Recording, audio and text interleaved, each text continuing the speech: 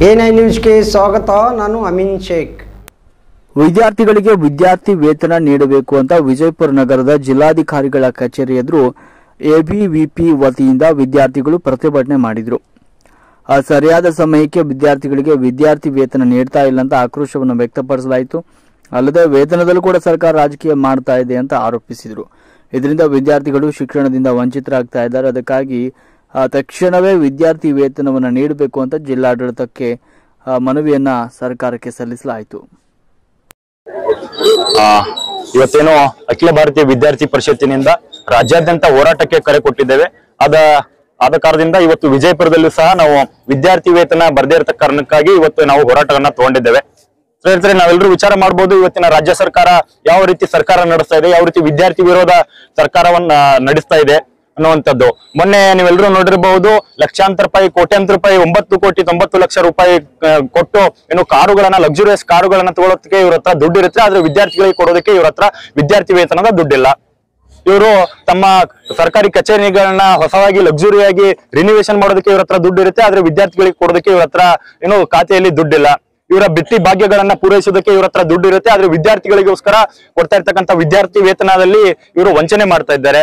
ಹೀಗಾಗಿ ವಿದ್ಯಾರ್ಥಿ ವೇತನ ಅನ್ನುವಂಥದ್ದು ವಿದ್ಯಾರ್ಥಿಗಳ ಜೀವನದಲ್ಲಿ ಇರ್ತಕ್ಕಂತ ಒಂದು ದೊಡ್ಡ ಆಧಾರ ಅಂತ ಹೇಳ್ಬಹುದು ಸ್ನೇಹಿತರೆ. ಯಾಕಂತಂದ್ರೆ ಸಾಕಷ್ಟು ಜನ ಬಡ ಮತ್ತು ಪ್ರತಿಭಾನ್ವಿತ ಕಾರ್ಮಿಕರ ಮಕ್ಕಳು ಏನು ವಿದ್ಯಾಭ್ಯಾಸ ಮಾಡಬೇಕು, ಅವರನ್ನ ಕನಸನ್ನ ಕಟ್ಕೊಂಡು ಸದೃಢ ಭಾರತ ದೇಶದ ಒಂದು ಪ್ರಜೆ ಆಗ್ಬೇಕು, ದೇಶದ ನಿರ್ಮಾಣದಲ್ಲಿ ತಾವು ಒಂದು ಪಾತ್ರರಾಗಬೇಕು ಅನ್ನೋ ಒಂದು ಉದ್ದೇಶ ಇಟ್ಕೊಂಡು ಇವತ್ತು ನಾವೆಲ್ಲರೂ ವಿದ್ಯಾಭ್ಯಾಸವನ್ನ ಮಾಡ್ತಾ ಇದ್ದೇವೆ. ಆದ್ರೆ ಇವತ್ತಿನ ರಾಜ್ಯ ಸರ್ಕಾರ ಆ ಎಲ್ಲ ವಿದ್ಯಾರ್ಥಿಗಳ ಕನಸಿಗೆ ಒಂದು ಹೊಡೆತ ಕೊಡುವಂತ ಒಂದು ಕೆಲಸವನ್ನ ಮಾಡ್ತಾ ಇದೆ. ಈ ಏನೋ ಈ ಪ್ರತಿಭಟನೆ ಮೂಲಕ ರಾಜ್ಯ ಸರ್ಕಾರಕ್ಕೆ ಏನು ಅಖಿಲ ಭಾರತೀಯ ವಿದ್ಯಾರ್ಥಿ ಪರಿಷತ್ತು ಆಗ್ರಹ ಮಾಡುತ್ತೆ. ಆದಷ್ಟು ಬೇಗ ವಿದ್ಯಾರ್ಥಿಗಳ ಖಾತೆಗಳಿಗೆ ಏನು ವಿದ್ಯಾರ್ಥಿ ವೇತನವನ್ನ ಜಮೆ ಮಾಡಬೇಕು. ಇಲ್ಲದಿದ್ದಲ್ಲಿ ಮುಂದಿನ ದಿನಮಾನಗಳಲ್ಲಿ ಅತಿ ಹೆಚ್ಚು ದೊಡ್ಡ ಪ್ರಮಾಣವಾಗಿ ಉಗ್ರ ಹೋರಾಟದ ಮೂಲಕ ರಾಜ್ಯ ಸರ್ಕಾರಕ್ಕೆ ಎಚ್ಚರಿಕೆ ಕೊಡಬೇಕು ಅನ್ನೋ ಒಂದು ಮಾತನ್ನ ಈ ಮೂಲಕ ಹೇಳಕ್ಕೆ ಇಚ್ಛೆ ಪಡ್ತೇನೆ. ರಾಜ್ಯ ಸರ್ಕಾರಕ್ಕೆ ನೀವು ಗಡುವು ಏನಾದ್ರು ಕೊಡ್ತೀರಾ? ಆ ರೀತಿ ಗಡುವು ಕೊಡೋದಕ್ಕೆ ಈ ಸಂದರ್ಭದಲ್ಲಿ ಆಗೋದಿಲ್ಲ. ಯಾಕಂದ್ರೆ ಸಾಕಷ್ಟು ಸಮಯ ಏನೋ ಸಾಕಷ್ಟು ಸಮಸ್ಯೆಗಳು ಇನ್ನೂ ಇದಾವೆ. ಸೊ ಒಂದೊಂದಾಗಿ ನಾವು ಇವತ್ತು ವಿದ್ಯಾರ್ಥಿ ವೇತನ ಸಮಸ್ಯೆ ತಗೊಂಡು ಪ್ರತಿಭಟನೆ ಮಾಡಿದ್ದೇವೆ. ಮುಂದಿನ ದಿನಮಾನಗಳಲ್ಲಿ ಇನ್ನೂ ಹೆಚ್ಚಿನ ರೀತಿಯ ಸಮಸ್ಯೆಗಳನ್ನ ಒಕ್ಕೂಡಿಸಿ ಒಂದೇ ರೀತಿಯಾಗಿ ಒಂದು ಎಚ್ಚರಿಕೆಯನ್ನ ಅಥವಾ ಒಂದು ಗಡುವು ಕೊಡೋದಕ್ಕೆ, ಸಮಯ ಕೊಡೋದಕ್ಕೆ ನಾವೆಲ್ಲ ನಿರ್ಣಯ ಮಾಡ್ತೇವೆ. ಮಲ್ಲಿಕಾರ್ಜುನ್ ಮಾಳಿ, ರಾಷ್ಟ್ರೀಯ ಕಾರ್ಯಕಾರಿಣಿ ಸದಸ್ಯ, ಎಬಿವಿಪಿ. ಅಖಿಲ ಭಾರತೀಯ ವಿದ್ಯಾರ್ಥಿ ಪರಿಷತ್ತು ಇವತ್ತು ಬಿಜಾಪುರ ನಗರದ ಗಾಂಧಿ ವೃತ್ತದಿಂದ ಹಿಡಿದು ಜಿಲ್ಲಾಧಿಕಾರಿಗಳ ಕಚೇರಿವರೆಗೆ ನೂರಾರು ವಿದ್ಯಾರ್ಥಿಗಳು ರಾಜ್ಯ ಸರ್ಕಾರದ ವಿರುದ್ಧ ಘೋಷಣೆಗಳನ್ನ ಕೂಗ್ತಾ ವಿದ್ಯಾರ್ಥಿಗಳಿಗೆ ನ್ಯಾಯ ಕೊಡಬೇಕು. ವಿದ್ಯಾರ್ಥಿ ವಿರೋಧಿ ಸರ್ಕಾರಕ್ಕೆ ಧಿಕ್ಕಾರ ಅನ್ನುವ ಘೋಷಣೆಗಳನ್ನ ಕೂಗ್ತಾ ಇವತ್ತು ಬಿಜಾಪುರ ಜಿಲ್ಲಾಧಿಕಾರಿಗಳ ಕಚೇರಿಯ ಮುಂದೆ ವಿದ್ಯಾರ್ಥಿಗಳೆಲ್ಲ ಸೇರಿದ್ದಾರೆ. ಕಾರಣ ಇಷ್ಟೇ, ವಿದ್ಯಾರ್ಥಿ ವೇತನವನ್ನ ನಂಬಿಕೊಂಡು ಸಾವಿರಾರು ವಿದ್ಯಾರ್ಥಿಗಳು ಇವತ್ತು ಶಿಕ್ಷಣವನ್ನ ಕಲಿತಾ ಇದ್ದಾರೆ. ಬಡ ಮತ್ತು ಪ್ರತಿಭಾವಂತ ವಿದ್ಯಾರ್ಥಿಗಳು ಶಿಕ್ಷಣದಿಂದ ವಂಚಿತರಾಗಬಾರದು ಅನ್ನುವಂತ ಕಾರಣಕ್ಕೋಸ್ಕರ ಸರ್ಕಾರಗಳು ಇವತ್ತು ವಿದ್ಯಾರ್ಥಿ ವೇತನವನ್ನ ನೀಡಬೇಕು. ಆದ್ರೂ ಇವತ್ತಿಗೆ ಬಂದಿರತಕ್ಕಂತ ಈ ರಾಜ್ಯದ ಕಾಂಗ್ರೆಸ್ ಸರ್ಕಾರ ವಿದ್ಯಾರ್ಥಿಗಳಿಗೆ ವಿದ್ಯಾರ್ಥಿ ವೇತನವನ್ನ ನೀಡ್ತಾ ಇಲ್ಲ. ನವೆಂಬರ್ ಒಂಬತ್ತರಂದು ವಿಧಾನಸೌಧದ ಬ್ಲಾಂಕೆಟ್ ಹಾಲ್ನಲ್ಲಿ ಕಾರ್ಯಕ್ರಮವನ್ನ ಮಾಡಿದ್ರು. ಕಾರ್ಮಿಕರ ಮಕ್ಕಳಿಗೆ ವಿದ್ಯಾರ್ಥಿ ವೇತನವನ್ನ ನೀಡ್ತೀವಿ ಅಂತೇಳಿ. ಆದ್ರೆ ಇವತ್ತಿನವರೆಗೂ ಕೂಡ ಒಬ್ಬ ಒಬ್ಬ ವಿದ್ಯಾರ್ಥಿಗೂ ಕೂಡ ವಿದ್ಯಾರ್ಥಿಗಳ ಖಾತೆಗೆ ಸ್ಕಾಲರ್ಶಿಪ್ ಜಮಾ ಆಗಿಲ್ಲ. ಸರ್ಕಾರ ಕೇವಲ ಕಾರ್ಯಕ್ರಮ ಪ್ರಚಾರಗಳನ್ನ ಮಾಡ್ಕೊಂಡು ಮಾತ್ರ ಓಡಾಡ್ತಾ ಇದೆ. ನಿಜವಾಗ್ಲೂ ಕೂಡ ಇದೊಂದು ವಿದ್ಯಾರ್ಥಿ ವಿರೋಧಿ ನೀತಿಯ ಸರ್ಕಾರ ಅಂತ ಹೇಳೋದಕ್ಕೆ ನಾನು ಈ ಸಂದರ್ಭದಲ್ಲಿ ಇಚ್ಛೆಯನ್ನ ಪಡ್ತಾ ಇದ್ದೇನೆ. ಅದಕ್ಕೋಸ್ಕರ ಇವತ್ತು ಅಖಿಲ ಭಾರತೀಯ ವಿದ್ಯಾರ್ಥಿ ಪರಿಷತ್ ನೇತೃತ್ವದಲ್ಲಿ ಕರ್ನಾಟಕ ರಾಜ್ಯಾದ್ಯಂತ ಎಲ್ಲ ತಾಲೂಕಾ ಮತ್ತು ಜಿಲ್ಲಾ ಕೇಂದ್ರಗಳಲ್ಲಿ ನಾವು ಪ್ರತಿಭಟನೆಯನ್ನ ಮಾಡಿ ರಾಜ್ಯದ ಮುಖ್ಯಮಂತ್ರಿಗಳಿಗೆ, ಉಪಮುಖ್ಯಮಂತ್ರಿಗಳಿಗೆ, ಸಚಿವರಿಗೆ ಒಂದು ಎಚ್ಚರಿಕೆಯನ್ನ ಕೊಡ್ತಾ ಇದ್ದೇವೆ. ನೀವು ತಕ್ಷಣದಲ್ಲಿ ವಿದ್ಯಾರ್ಥಿ ವಿರೋಧಿ ನೀತಿಯನ್ನ ಅನುಸರಿಸೋದನ್ನ ಬಿಟ್ಟು ವಿದ್ಯಾರ್ಥಿಗಳ ಖಾತೆಗಳಿಗೆ ಸ್ಕಾಲರ್ಶಿಪ್ ಹಣವನ್ನ ಜಮೆ ಮಾಡಬೇಕು. ಇಲ್ಲದೆ ಹೋದ್ರೆ ಲಕ್ಷಾಂತರ ವಿದ್ಯಾರ್ಥಿಗಳು ಬೀದಿಗಿಳಿದು ಪ್ರತಿಭಟನೆಯನ್ನು ಮಾಡಬೇಕಾಗುತ್ತೆ. ರಾಜ್ಯದಲ್ಲಿ ಮುಖ್ಯಮಂತ್ರಿಗಳು ಸಚಿವರು ನೀವು ಓಡಾಡುವಂತ ರಸ್ತೆಗಳಲ್ಲಿ ನಾವು ನಿಮ್ಗೆ ಮುತ್ತಿಗೆ ಹಾಕ್ಬೇಕಾಗುತ್ತೆ ಅನ್ನುವಂತ ಎಚ್ಚರಿಕೆಯನ್ನ ಇವತ್ತು ಬಿಜಾಪುರದ ಮೂಲಕ ನಾವು ಸರ್ಕಾರಕ್ಕೆ ಕೊಡ್ತಾ ಈ ಒಂದು ಪ್ರತಿಭಟನೆ ಮೂಲಕ ಎಚ್ಚರಿಕೆಯನ್ನು ಕೊಡ್ತಾ ಇದ್ದೇವೆ. ಸಚಿನ್ ಕುಳಗೇರಿ ಎಬಿವಿಪಿ ರಾಜ್ಯ ಕಾರ್ಯದರ್ಶಿ. ಇವತ್ತು ಸ್ಕಾಲರ್ಶಿಪ್ ಇವತ್ತು ವಿದ್ಯಾರ್ಥಿ ವೇತನವನ್ನು ಇಟ್ಕೊಂಡು ಹೋರಾಟ ಮಾಡ್ತಾ ಇದೀವಿ ಸರ್. ಇನ್ನು ಬೇರೆ ಸಮಸ್ಯೆಗಳಿದೆ. ಮುಂದಿನ ದಿನಗಳಲ್ಲಿ ಆ ಸಮಸ್ಯೆಗಳನ್ನ ಇಟ್ಕೊಂಡು ಕೂಡ ನಾವು ಪ್ರತಿಭಟನೆಯನ್ನ ಮಾಡ್ತೀವಿ. ಈ ದಿನ ಏನು ರಾಜ್ಯ ಸರ್ಕಾರ ವಿದ್ಯಾರ್ಥಿಗಳಿಗೆ ವಿದ್ಯಾರ್ಥಿ ವೇತನವನ್ನು ನೀಡುತ್ತಿಲ್ಲ. ಲಕ್ಷಾಂತರ ಸರ್ಕಾರಿ ಶಾಲೆಯಲ್ಲಿ ಓದ್ತಿರುವಂತ ಮಕ್ಕಳಿಗೆ ಅವರಿಗೆ ವಿದ್ಯಾರ್ಥಿ ವೇತನ ದೊರಕುತ್ತಿಲ್ಲ.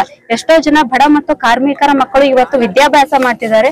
ಅವರಿಗೆ ಉತ್ತಮವಾದಂತ ಶಿಕ್ಷಣವನ್ನು ದೊರಕಿಸಿಕೊಳ್ಳಲು ಸ್ಕಾಲರ್ಶಿಪ್ ಅನ್ನು ಸರ್ಕಾರ ಹಾಕ್ತಾ ಇಲ್ಲ.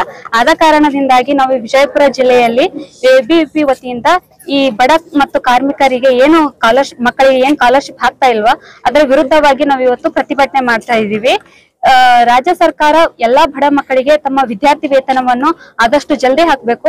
ಮೊದಲಿದ್ದ ರಾಜ್ಯ ಸರ್ಕಾರ ಶೇಕಡ ಐವತ್ತರಷ್ಟು ಹೆಚ್ಚು ವಿದ್ಯಾರ್ಥಿ ವೇತನವನ್ನು ನೀಡಿತ್ತು.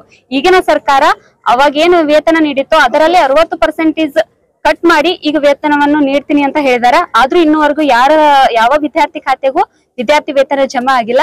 ಅದ ಕಾರಣದಿಂದ ನಾವು ವಿಜಯಪುರ ಜಿಲ್ಲೆಯಲ್ಲಿ ಇವತ್ತು ಪ್ರತಿಭಟನೆಯನ್ನು ಮಾಡ್ತಾ ಇದ್ದೇವೆ.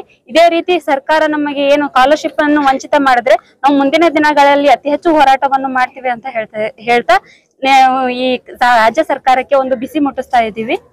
ಬಿಜೆಪಿ ಎಬಿಪಿ ನಗರ ಕಾರ್ಯದರ್ಶಿ ಕವಿತಾ ಬಿರಾದ ಎಷ್ಟು ತಿಂಗಳಿಂದ ಬಂದಿಲ್ಲ ನಾವು ಒಂದು ವರ್ಷ ಆಯ್ತು. ವರ್ಷದಿಂದ ಬಂದಿಲ್ಲ. ಎರಡ್ ಸಾವಿರದ ಇಪ್ಪತ್ಮೂರು ಕೂಲಿ ಕಾರ್ಮಿಕರ ಕಲ್ಯಾಣ ನಿಧಿ ಮೇನ್ ರೀಸನ್ ಬಂದಿದ್ವಿ ಸರ್ ಅದು ಸರ್ ಅಕ್ಸೆಪ್ಟ್ ಮಾಡಿದ್ದಾರೆ. ಇನ್ನೊಂದು ಮೇನ್ ರೀಸನ್ ಏನಂದ್ರೆ ನಮ್ ಡೈಲಿ ಕ್ಲಾಸಸ್ ನಡೀತಾ ಇಲ್ಲ. ಎಷ್ಟೋ ವಿದ್ಯಾರ್ಥಿಗಳು ಬೇರೆ ಊರಿಂದ ಬಂದು ಮತ್ತೆ ವಾಪಸ್ ಹಂಗೆ ಹೋಗ್ತಿದ್ದಾರೆ. ಒಂದ್ ಎರಡ್ ಮೂರ್ ವಾರ, ಒಂದ್ ತಿಂಗಳಿಂದ ಕಂಟಿನ್ಯೂ ಡೈಲಿ ಕ್ಲಾಸಸ್ ನಡೀತಾ ಇಲ್ಲ. ಆಮೇಲೆ ಆಂತರಿಕ ಪರೀಕ್ಷೆಗಳ ಅನೌನ್ಸ್ಮೆಂಟ್ ಮಾಡಿದ್ದಾರೆ ದಿನಾಂಕ ಕೂಡ. ನಾವು ಹೋಗಿ ಏನ್ ಬರಿಬೇಕು ಅನ್ನೋದೇ ನಮಗ್ ಗೊತ್ತಾಗ್ತಾ ಇಲ್ಲ. ಸರ್ ಸಬ್ಜೆಕ್ಟ್ ಏನು, ವಿಷಯ ಏನು, ಯಾರು ಟೀಚ್ನು ಮಾಡಿಲ್ಲ ಲೆಸನ್ ಮುಗ್ದಿಲ್ಲ. ಸೊ ಪ್ಲೀಸ್ ಅದ್ರದ್ದೊಂದು ವ್ಯವಸ್ಥೆ ಮಾಡ್ತೀವಿ. चैत्रा दोन.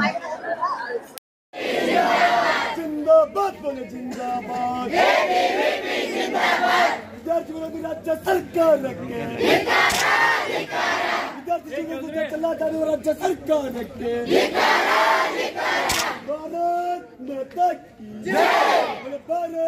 माता की. माता की. ಯಾತಕ್ಕಾಗಿ ಹೋರಾಟ? ಎಲ್ಲಿವರೆಗೂ ಹೋರಾಟ? ಎಲ್ಲಿವರೆಗೂ ಹೋರಾಟ? ಯಾತಕ್ಕಾಗಿ ಹೋರಾಟ? ಬೆಕ್ಕೆ ಬೆಟ್ಟು ಬೆಕ್ಕೆ ಬೆಟ್ಟು ರಾಜ್ಯ ಸರ್ಕಾರಕ್ಕೆ.